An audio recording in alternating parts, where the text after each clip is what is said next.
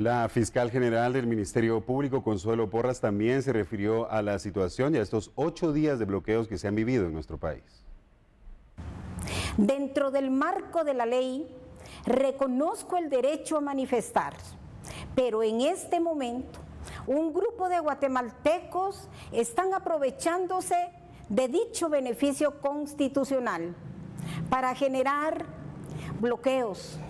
saqueos, cierres obligatorios con amenaza a los comerciantes, así como la obstrucción del acceso de varias sedes del Ministerio Público a nivel nacional y a varios juzgados. Estas acciones ilegales vulneran gravemente los derechos de todos los guatemaltecos y el cumplimiento del mandato legal de nuestra institución, lo cual pone en riesgo el acceso a la justicia a través de la investigación, obstruyendo la persecución penal. Quiero manifestarles que como fiscal general estoy obligada a investigar todos los hechos denunciados y debo garantizar el estricto cumplimiento de los preceptos de la Constitución Política de la República, de las leyes del país y las convenciones en materia de derechos humanos.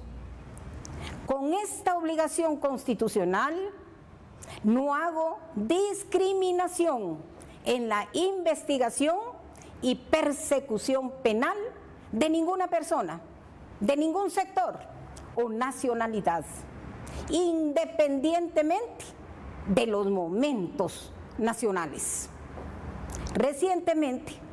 la Corte de Constitucionalidad resolvió en dos acciones de amparo en los que ordena que debe garantizarse los derechos humanos de la vida, la salud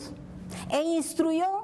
a los funcionarios a cargo de las distintas instituciones encargadas de velar por dichos derechos que actuaran de manera inmediata para resolver los agravios. Desafortunadamente,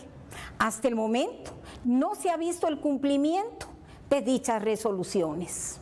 razón por la cual el Ministerio Público ya accionó legalmente